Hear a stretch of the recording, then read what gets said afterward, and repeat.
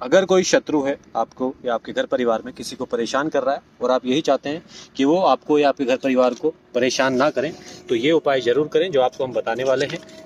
अगर आप कन्या राशि के हैं तो ये उपाय ना करें, बाकी अन्य राशि के लोग ये उपाय कर सकते हैं। एक दिया लेना है। दिया जलाने से पहले आपको उसके आसपास एक गोला बना देना है। ऐसा। कटे ना कहीं से गोला, इस बात का ध्यान रखना है।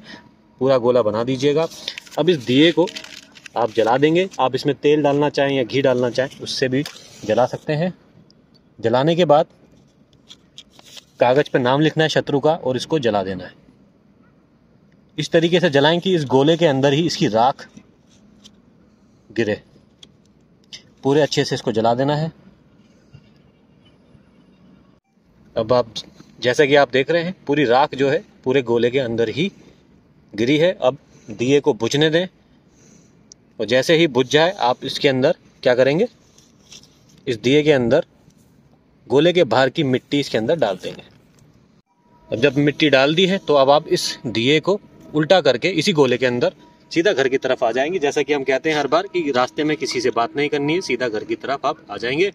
एक हफ़्ते के अंदर आपको इसमें लाभ मिल जाएगा। अगर आपके नक्षत्र सटीक बैठ गए तो जैसा कि मैंने बताया, कन्या राशि वाले ये उपाय ना करें, बाकी सब कर सकते हैं। और यदि आप हमसे जुड़ना चाहते हैं, अपने नक्षत्रों के अनुसार उपाय करना चाहते हैं तो डिस्क्रिप्शन में आपको लिंक मिल जाएगा हमारे टेलीग्राम ग्रुप का। आप उससे जुड़िए, आपको हम आपके नक्षत्रों के अनुसार उपाय बताएँगे ताकि आपको इसमें लाभ मिल सके। धन्यवाद।